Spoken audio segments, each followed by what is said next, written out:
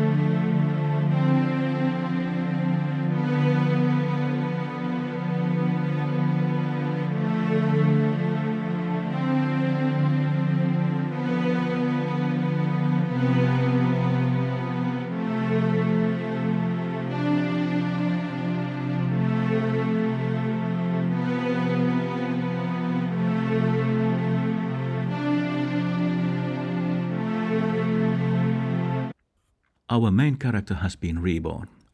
Death is over, lifeless domain is behind him or her, and a new life has begun. And this new life gives the main character a chance to try again, to avoid the mistakes he or she made in the previous one.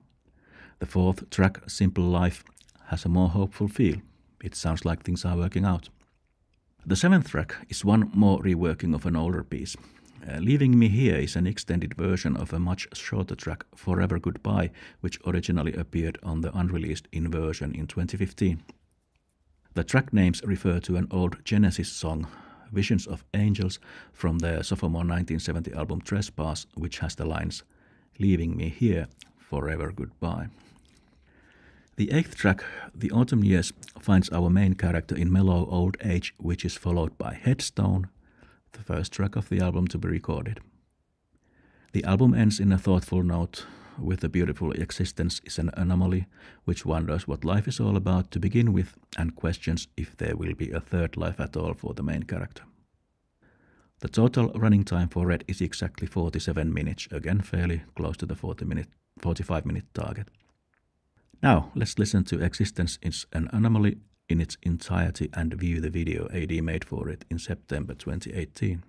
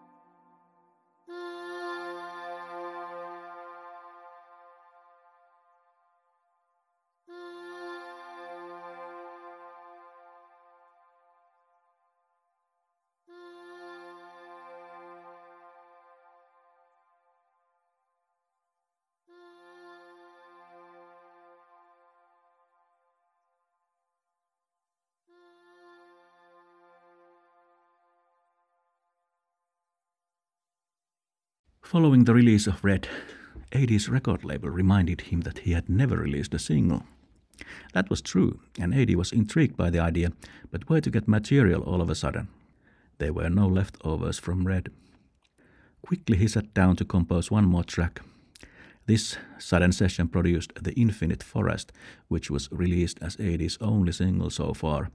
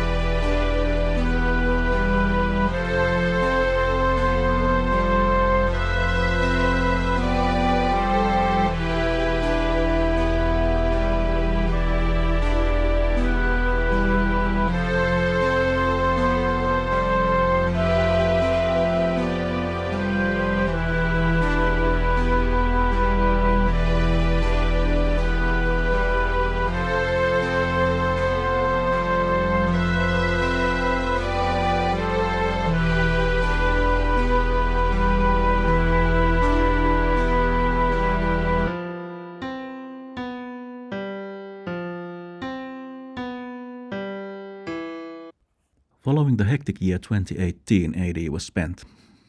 Again, he took a break from composing work and, as it happened, released virtually no new music during 2019. Instead, he took on the promise he had made prepare a compilation of his work thus far. Inspired by what he thought was a success of Red, he decided to name the compilation Green. The plan was to create a best of album containing the works AD had released as Artisan and introduce them under artist name Artisan Digital so that, that it would be enough for any curious fan to check out what had been released with the new artist name and there would be no need to go back for the earlier albums anymore, including the unreleased ones. Hence, Green would contain the best that AD had released or not released between Crater Lake and Approaching Oblivion. This wouldn't have been much work except for the fact that AD couldn't help but cringe when listening to tracks on Crater Lake. He decided to re record the tracks he had chosen for inclusion on Green. Also, he decided to ignore his normal 45 minute target and extend the album closer to a full hour so that everything worthwhile could be included. Track 6, The Chase, is one of the tracks originally composed in 1977. He recorded it to Crater Lake in March 2011 and now once again in 2019. Let's listen to a short sample of the newer version.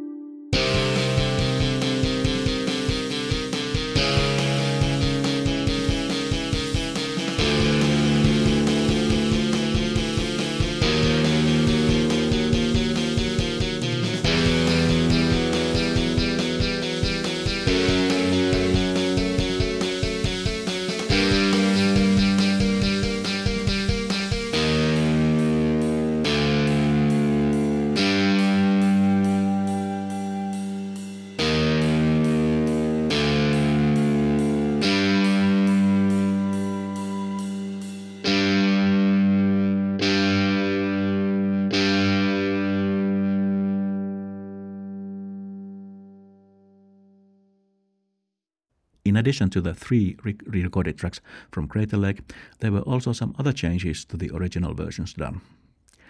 Track 4, Downfall, was also re recorded and extended so it is no longer the same version as Inversion Downfall was on Inversion. Let's listen to a sample.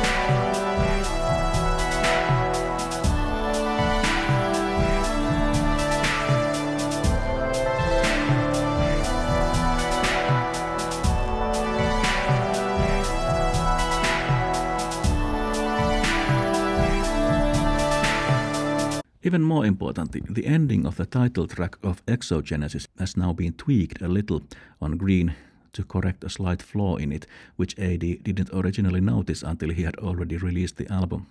The tweak shortened Exogenesis by one second from 851 to 850. Since we already listened to Exogenesis, let's not do it again. And instead, check out the sample of Paradise Waits, which I already mentioned earlier in part 1.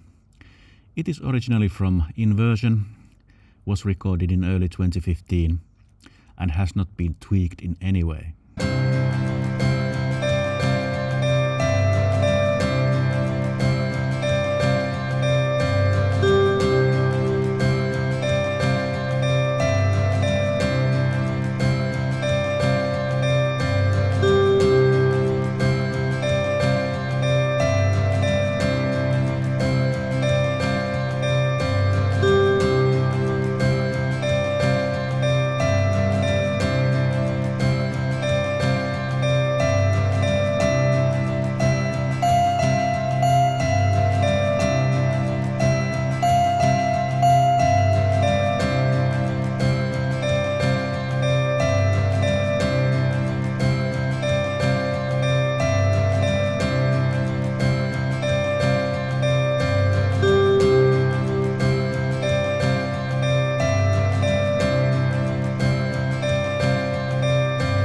Green's total running time is 56 minutes and 44 seconds. It was released on 12th of April 2019 and was the only AD release during that year. The re-recordings of three Crater Lake tracks were all completed at the last minute during a two-day recording session on 4th and 5th of April, causing a slight pause on the preparation of the next studio album which had by that time already started. AD completed the opening and title track of that next album, Wonderland, already at the end of February 2019 and uploaded it to YouTube 14 months before the album would actually be released. An album sample followed on 11th of July, stating that there would be a release towards the end of the year, which then didn't happen. Another full track, The Fight Escalates, completed already at the end of April, followed on 19th of July. Let's listen to samples of both Wonderland and The Fight Escalates back to back.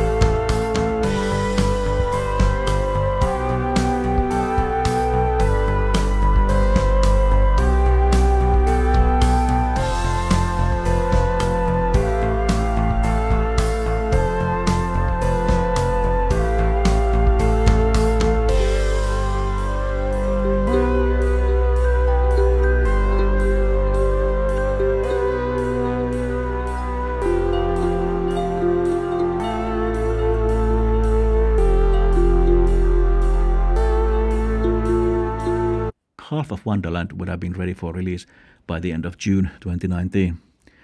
In addition to, to the two YouTube releases, four other tracks were done already at that point. Voices in April, Reunited in May, Inner Sanctum in early June, and Father and Daughter on the last day of June. Logically, it was these six tracks that featured in the album sampler.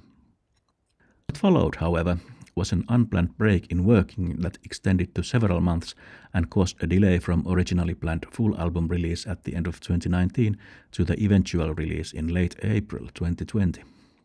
The break was caused simply by a lack of good musical ideas. Story wise, there were no problems.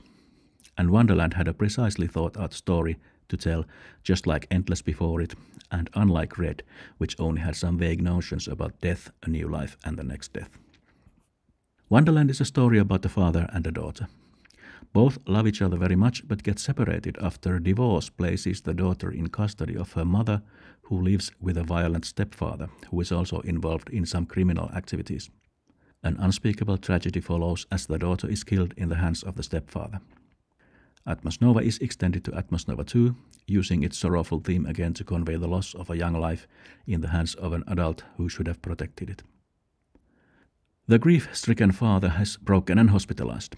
He begins to hear voices that tell him that the daughter can still be saved by means of his work, which dealt with time displacement equipment that can send him back in time to a moment when his daughter was still alive.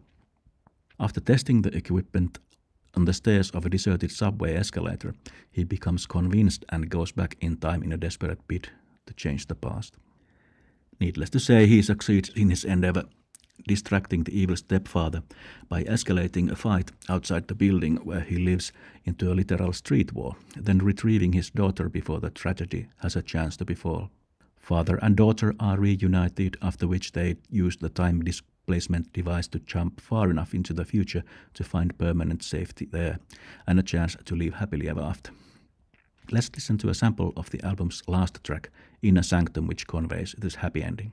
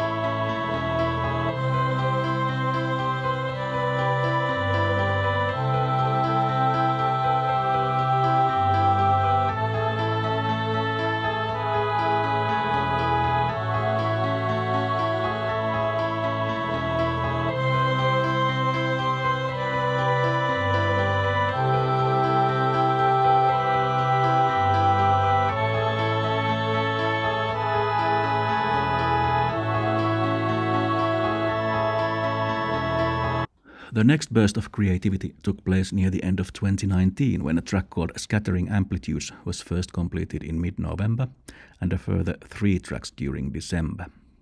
These were Atmos Nova 2, Try the Impossible, and the Solution part. Of these four, AD selected the dance track Try the Impossible for uploading to YouTube on 14th of December and the avant garde oddity Scattering Amplitudes on 9th of February 2020. At the end of 2019, 10 tracks were ready for release, but the time had obviously run out. The full album wouldn't be ready before early 2020. A track list of 13 compositions had been planned already some time ago, so AD knew exactly what was needed. Still missing were tracks number 6, Escalator, number 8, whose name I cannot pronounce but it is Latin, and number 10, Street War. AD set out to work on them in early 2020 and after having worked on them parallel, finally completed all three on the same day, 8th of April. At the same time, AD had also been working on a short story collection which he intended to publish in 2020. It was written in Finnish and had the title Omituisia rakkaustarinoita, which translates into Strange Love Stories. Both Endless and Wonderland are featured therein. Endless is the first story in the book. As you may recall, AD had completed it already in September 2016. Reading it finally gives a chance for a fan to understand what the track titles on the album Endless are referring to years after it was released. Unfortunately, we cannot summarize the story here as that would spoil the big twist hidden near its middle. Wonderland is a slightly more complicated affair. The last story in the collection is indeed called Wonderland, but it is not the same story as on the album. Uh, Wonderland, the short story, is a romance between an American novelist and screenwriter with a foreign woman who is in trouble and needs his help. At an early point in that story, these two main characters get acquainted and watch a movie together. That movie has the story of Wonderland the album. One chapter in the story is completely dedicated to the couple's movie watching experience and tells the science fiction story of father and daughter in more detail. Wonderland the album was finally released on 24th of April 2020. The short story collection followed a few months later on 12th of August. Total running time of the album is 48 minutes and 42 seconds, slightly longer than the target length of 45 minutes. Only a few weeks after the release of Wonderland, AD completed the first two tracks of his next studio album, which was going to be called Elemental. The date was 11th of June, and the tracks were called simply Elemental 1 and Elemental 2. The first one of these was uploaded to YouTube two days later as the first sample from the album that would not be having individual track titles, but only numbers. Let's listen to it in its entirety.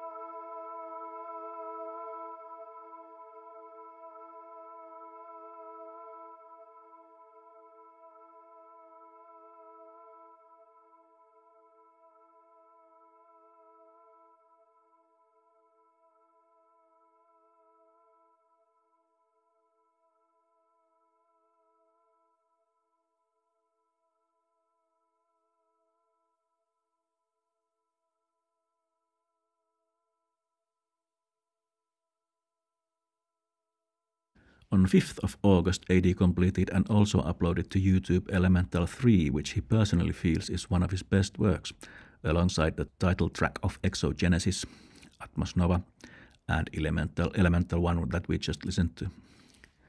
The outlook was good since the composer was truly satisfied with his work. But in spite of this, after completing three tracks totaling 14 minutes of running time, the work slowed down considerably. Before we get into that, let's listen to a sample of Elemental 3.